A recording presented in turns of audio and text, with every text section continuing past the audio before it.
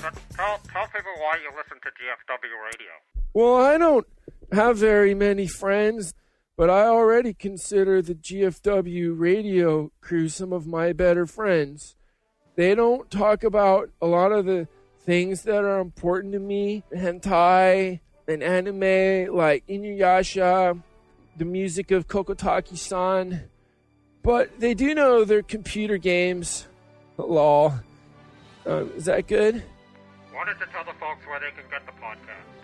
Uh, I, I can get mine from gfwradio.1up.com or um, podcast.1up.com, or you can also get it from iTunes Music Store.